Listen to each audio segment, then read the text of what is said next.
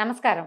మాఘ పురాణం ఆరో అధ్యాయంలోకి వచ్చాం ముందు అధ్యాయంలో కౌత్సుడు వాళ్ళ అమ్మా నాన్న పెళ్ళి సంబంధాలు చూస్తున్నారని తనకి ఎట్లాంటి కన్య కావాలి? అసలు ఒక పెళ్ళి చేసుకోవాలంటే కన్యకి ఎలాంటి లక్షణాలు ఉండాలి? అలాంటి అమ్మాయి వెతకాలంటే అలాంటి అమ్మాయి లేకపోతే మానేయమని కాదు. అమ్మాయిలందరూ ఇలాంటి లక్షణాలు అలవర్చుకోవాలని చెప్పటం. అమ్మాయి కోసం వెతుకుతారు కాగడ వేసి పెట్టినా కనపడదు. మరి అమ్మాయికి ఇది అబ్బాయికి పెళ్ళవదా? మరి ఆ లక్షణాలు లేని పిల్లలకి పెళ్ళిళ్ళు అవ్వకపోతే ఎట్లా? ఇది కదా మనం ఆలోచించుకోవాలి. ముకుంద జ్యువెలర్స్. తెలంగాణలో మొట్టమొదటి ఫ్యాక్టరీ అవుట్లెట్. మన కొత్తపేటలో ఫిబ్రవరి పద్నాలుగున గొప్ప శుభారంభం. ప్రతి వాళ్ళు ఇలాంటి మంచి లక్షణాలు అలవర్చుకుంటే మంచిదని పురాణం చెప్తోంది. ఈ గాథని వశిష్ఠ మహర్షి దిలీప మహారాజుకి తెలియజేస్తున్నారు. ఇది చెప్తున్నారు ఈ పెళ్ళి సంబంధాలు వెతికే సమయం వచ్చేసరికల్లా వీళ్ళకి భోగాపురంలో సదాచార సంపన్నుడు దైవభక్తి పరాయణుడైన ఒక సద్బ్రాహ్మణుడు ఉండేవాడు. అతనికి సద్గుణరాశి శీలవతి సౌందర్యవతి అయిన ఒక కుమార్తె కలదు. ఆమె పేరు సుశీలట. బుద్ధిమంతురాలైన సుశీల బాల్యం నుంచే భగవంతుడి పట్ల మిక్కిలి భక్తితోటి ఉండేది. ఎల్లప్పుడూ ఏదో ఒక వ్రతాన్ని కానీ పూజను కానీ చేస్తూ ఉండేది. పురాణ గాథలంటే ఆమెకి ఎంతో ప్రీతి. నిత్యము దైవభక్తి అందే కాలం గడిపేది. కొంతకాలం గడిచాక ఆమెకు యుక్త వయసు వచ్చి చక్కని అందాల భరిణగా అతిలోక సౌందర్యవతిగా రూపుదిద్దుకుంది. పిల్ల కొంచెం పెద్దదైంది భక్తిగా బుద్ధిగా ఉండేదన్నమాట. సద్గుణరాశి సౌందర్యవతి అయినటువంటి సుశీల గుణగణాలు తెలుసుకున్న మృగశృంగుడు ఆమెను వివాహం చేసుకోవటానికి ఉత్సాహం కనబరిచాడు. సరే వాళ్ళ అమ్మా నాన్న వీళ్ళ అమ్మా నాన్న పెళ్ళి సంబంధం మాట్లాడుకున్నారు. ఆ పెళ్ళిళ్ళ పైగా ఏంటంటే ఆ రోజుల్లో ముహూర్తాలు తక్కువ ఉన్నాయి. కొంచెం గ్యాప్ వచ్చిందనమాట సంబంధం స్థిరపరచుకున్నాక. ఇది ఇలా ఉండగా అది మాఘమాసం అవటం చేత ఒకనాడు సుశీల తన ఇద్దరు స్నేహితురాళ్ళతో కలిసి కావేరీ నదికి నదీ స్నానానికి వెళ్ళింది. ఇది ఎప్పుడు జరుగుతుంది? కావేరీ నది స్నానం అంటే ఉదయమే. సూర్యోదయానికి పూర్వం. కరవ రవ కను చీకటిగా ఉంది. మరీ చీకటి లేదు. ఎందుకంటే చలికాలం తగ్గిపోతుంది కదా. కానీ కొంచెం ఒక మాదిరి కను చీకట్లో ముగ్గురు ఆడపిల్లలు కలిసి ఈ న- నదీ స్నానానికి కావేరీ నదికి బయలుదేరారు. ఇలా వెళ్తూ ఉంటే ఈ కావేరీ నది సమీపంలో ఉన్నటువంటి ఒక పెద్ద అడవిలోంచి చాలా పెద్ద అడవులు ఉండేవట. ఇప్పుడు కూడా ఏంటంటే జనావాసాలు వచ్చేసాయి కదండి. మనం నది అవతల చూస్తే అన్ని చెట్టతోటి నిండినట్టు కనపడుతుంది మనకి. ఆ అడవిలోంచి ఒక మదించిన పెద్ద ఏనుగు పరిగెత్తుకుంటూ వచ్చిందట. భయంకరంగా ఘీంకారాలు చేస్తూ కనిపిస్తున్న వాళ్ళందరినీ కాళ్ళతో తొక్కుతూ తొండంతో విసిరేస్తూ నానాభీభత్సంగానూ చేస్తుంది. ఏనుగులు మదించేసరికల్లా ఈ రకమైన ఇబ్బంది వస్తుంది. వాటికి ఆడ ఏనుగు కనపడితే కొంచెం తగ్గిపోతాయి. ఆ మదించిన దాంట్లో అవి పరిగెత్తుకొచ్చినప్పుడు జనాలు హాహాకారాలు చేసి పరిగెడతారు. కొంతమంది దాన్ని ఆపడానికో దాన్ని కొట్టడానికో ప్రయత్నం చేస్తారు. అవి చూసిన కొద్దీ దానికి ఇంకా తిక్కెక్కిపోతుంది పై ఉత్సాహం పెరిగిపోతుంది కూడా దానికి ఆ తిక్క పెరిగిపోతుంది. ఈ జనాలంతా హాహాకారాలు చేసి తలాకు పక్కకి కకావికలుగా పరిగెడుతూ ఉంటే ఈ ముగ్గురు ఆడపిల్లలు ఆ అమ్మాయి ఆ ఏనుక్కి కనిపించారు. అది కాస్త ఈ అమ్మాయిల వెనకాల పడిందట. మదించిన ఏ మత్తగజాన్ని దాని ఘీంకార ఏనుగును చూసి దాని ఘీంకారాన్ని విన్నటువంటి ముగ్గురు స్త్రీలు భయపడి తమ శక్తి కొలది పరిగెత్తేశారట. నదీ తీరంలో ఉన్నారు. ఇక పిచ్చెక్కినట్టు పరిగెత్తారు? ఎటు పరిగెడుతున్నారో తెలియకుండా. ముందు వెనక చూడకుండా. దూరంగా ఏ ఆచ్ఛాదన లేని ఒక దిగుడు బావిలో పడిపోయి మరణించారు. ముగ్గురు అమ్మాయిలు పరిగెత్తారు. మధ్య మధ్యలో చేతులు కూడా పుచ్చుకుని ఉండుంటారు అంతా కలిసి ఆచ్ఛాదన లేని ఒక దిగుడు బావి ఉంటే బావిలోంచి దిగితే ఏమవ్వదు. దిగితే మరణించరు. వీళ్ళు చూసుకోలేదు. అది దిగచ్చని అదని తెలియలే వాళ్ళకి.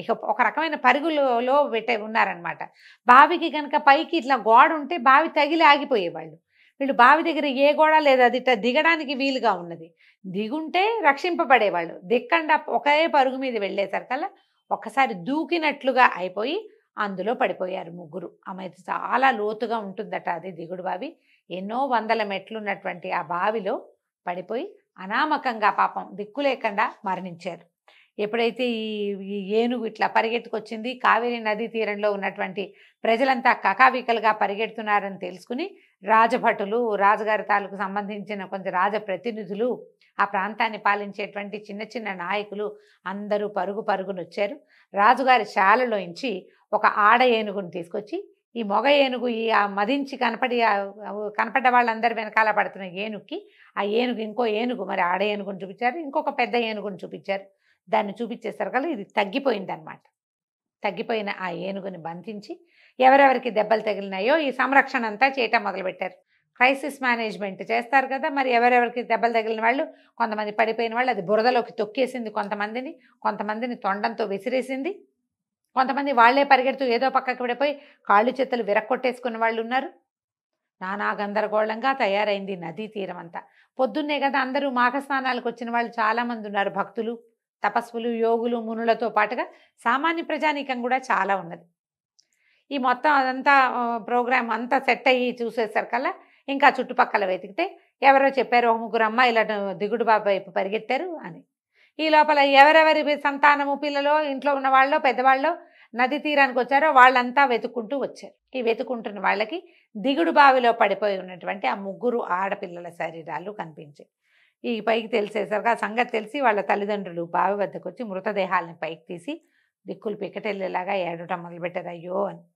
మృగశృంగుడి కూడా ఈ వార్త తెలిసింది. పరుగు పరుగున వచ్చాడు. మరి పెళ్ళి కుదుర్చుకున్నారు. అందులో ఒక అమ్మాయి ఇతని కాబోయే భార్య. ఈ రోధిస్తున్న వాళ్ళ బంధువులు చూసి చలించిపోయాడు. ఎంత దుఃఖం వచ్చిందో అతనికి. ఆ విషాదమైన దృశ్యం చూసి చాలా హృదయం కలిచేసింది. ఎందుకు ఇట్లా జరిగింది? ఎలాగైనా వీళ్ళని బతికించాలని నిర్ణయించుకొని వాళ్ళ తల్లిదండ్రులతోటి ఏం చెప్పాడంటే ఈ మృతదేహాల్ని ఖననం కానీ దహనం కానీ చేయదు. వీళ్ళు కన్యకలే. ముగ్గురు వివాహం కాని వాళ్ళు.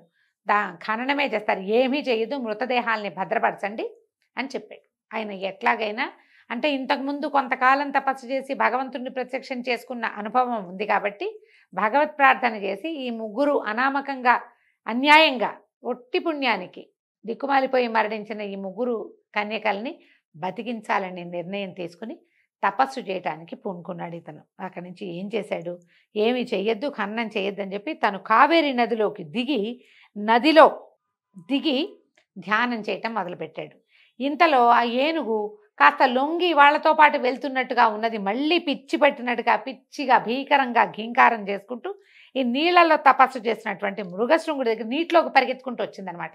ఈయన నీళ్ళలో కూర్చున్నాడు. నీటి అడుగును కూర్చుని తపస్సు చేసుకుంటున్నాడు ధ్యానం చేస్తున్నాడు. ఆ ఏనుగు పట్టుకున్న తన్ని పట్టుకున్న కా తాళ్ళని మనుషుల్ని విదిలించేసి ఒక పెద్ద పెట్టును పిచ్చెత్తిన దానిలాగా నీళ్ళలోకి కావేరీ నదిలోకి పరిగెత్తుకుంటూ వచ్చింది.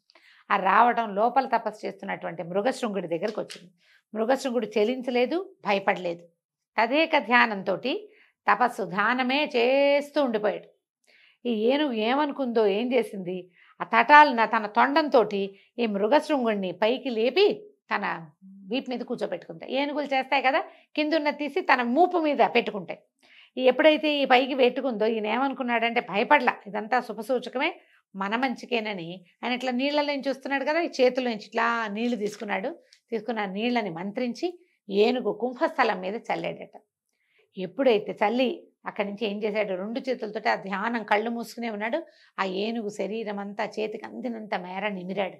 మంత్ర తప్ ధ్యానం అంటే మంత్రం పునశ్చరణ చేస్తూనే ధ్యాన మంత్రం నారాయణ మంత్రం చేస్తున్నాడు. ఆయన ఏ మంత్రం చేస్తున్నాడో మనకి పురాణంలో చెప్పబడదు కానీ మంత్ర తన అనుష్ఠానంలోనే మంత్ర జపం చేసుకుంటూనే ఈ ఏనుగుని ఒళ్ళంతా నిమిరాడు. నిమిరేసరికల్ అంతే ఒక్కసారి ఆ ఏనుగట ఒక అత్యద్భుతమైన దేవతగా మారిపోయిందట.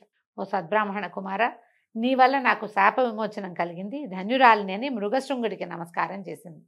ఎవరు ఏమిటి అని ప్రశ్నించేసరికల్లా ఇవ నేను ఒక గంధర్వాంగనని శాపవశాత్తు ఇట్లా ఏనుగుగా మారాను.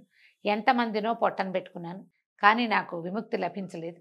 నువ్వు ఎంతో తపస్శాలివి తపసంపన్నుడివి భగవంతుడిని నేత్రంతో మా మాంస నేత్రంతో దర్శించినటువంటి నీ వల్ల నీ స్పర్శ వల్ల నువ్వు చల్లిన నీటి వల్ల నాకు శాప విమోచనం అయిపోయింది. పరి అని పరిపరి విధాలుగా ఈయనకి నమస్కారాలు చేసి ఎన్నో కృతజ్ఞతలు చెప్పుకొని తన లోకానికి వెళ్ళిపోయింది. అయితే చూడండి ఈయన మా మాఘ స్నానం చేయటం వల్ల ఆ నదిలో కూర్చుని తపస్సు చేస్తూ ఆ తన ధ్యాన ముద్రలో ఉన్నటువంటి తన చేతి నీరు తగిలేసరికల్లా ఈ ఏనుగుకి విముక్తి లభించింది అని చెప్తున్నారు. మాఘ ఇప్పుడు చెప్తున్నారు ఋషి. వశిష్ఠ మహాముని చెప్తున్నారు. దిలీప మహారాజా విన్నావా? మాఘ స్నాన నదీ స్నా మాఘ మాస నదీ స్నానం ఎంతటి మహిమ కలదో ఈ నదీ జలం ఒంటి మీద పడ్డంతో ఏనుగు శాప విమోచనం కలిగింది. ఇప్పుడు ఏనుగు నీళ్ళలోకి వెళ్ళినా శాప విమోచనం అయ్యేది. దానికి కొంచెం అంటే తిక్క తగ్గేది. కానీ ఎప్పుడైతే ఈయన అభిమంత్రించి జలాన్ని చల్లాడో దానివల్ల ఆమెకి శాప విమోచనం కూడా అయింది. మాఘమాసం నందు నదీ స్నానం ఎంతటి మహిమ కలదో తెలియటానికి ఈ నిదర్శనాలు చాలు. తర్వాత వృత్తాంతాన్ని కూడా చెప్తాను. శ్రద్ధగా వినమని చెప్పటం మొదలుపెట్టాడు. మళ్ళీ కొత్త కథ చెప్పబోతున్నాడు అనమాట ఈ తన భార్యతో పాటు అంటే తన కాబోయే భార్య అయినటువంటి సుశీలతో పాటు ఆమె స్నేహితురాళ్ళిద్దరూ మరణిస్తే వాళ్ళని పునర్జీవితుల్ని చేయటం కోసం మన కౌత్సుడు చేస్తున్నటువంటి తపస్సు ఎలాంటి ఫలితాన్ని ఇచ్చిందో మనం వచ్చే భాగంలో తెలుసుకుందాం. సెలవు. నమస్కారం.